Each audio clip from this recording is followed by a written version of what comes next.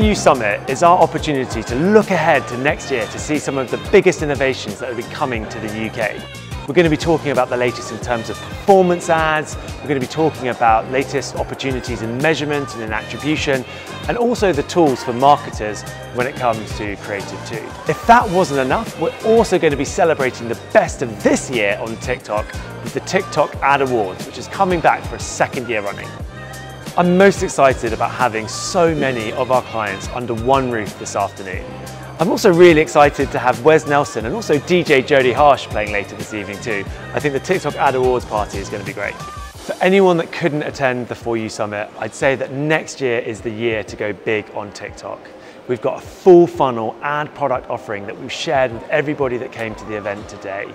The TikTok Ad Awards is so important because it's our opportunity to celebrate the best of the creative that comes onto our platform.